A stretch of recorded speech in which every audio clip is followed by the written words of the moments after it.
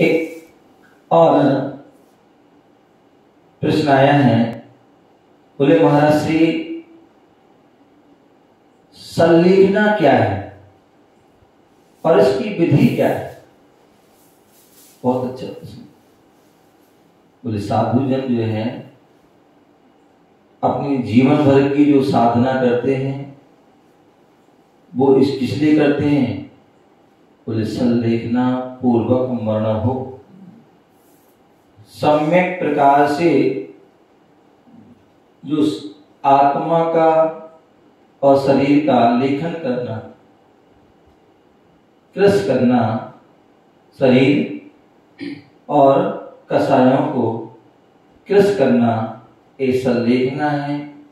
और ये संलेखना बोले आठ वर्ष से और जीवन के अंतिम क्षणों तक हम धारण कर सकते हैं।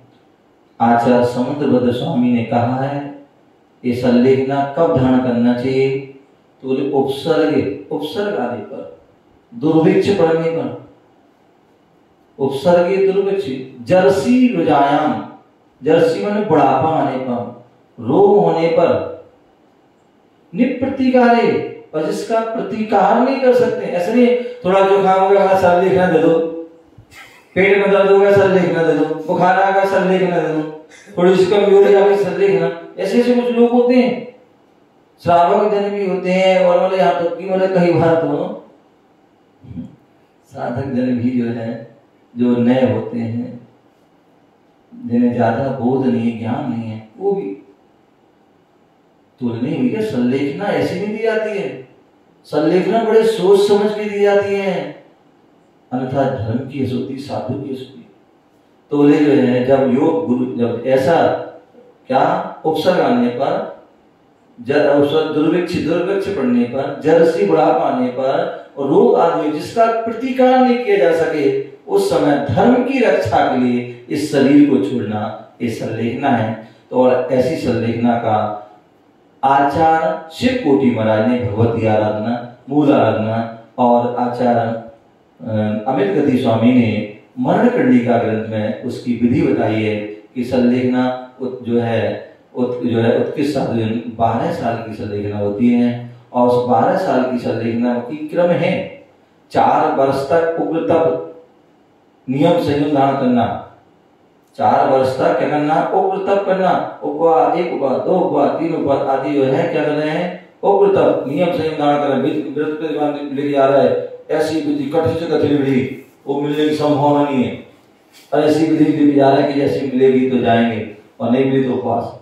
तो ऐसे चार महीने तक जो है, कठोर उग्र तप कर रहे चार वर्ष तक रस त्याग करना। अब क्या कर? रहे हैं नीरस का दूध का, मीठे का, घी का, दही का, तेल का आदि मतलब जो है, क्या कर रहे हैं, रस परित्याग विशेष। और दो साल तक अन्न का त्याग। चार चार दिन आठ और उसके बाद दो साल तक पूरा जो है अनाज का त्याग कर दिया। एक वर्ष दूध, छाछ आदि, पतले पदार्थ आदि ग्रहण करेंगे। ऐसा वह संकल्प। और उसके बाद छह महीने की स्थिति में मंद रीति से उपवास करना। मंद गति से उपवास करते हैं।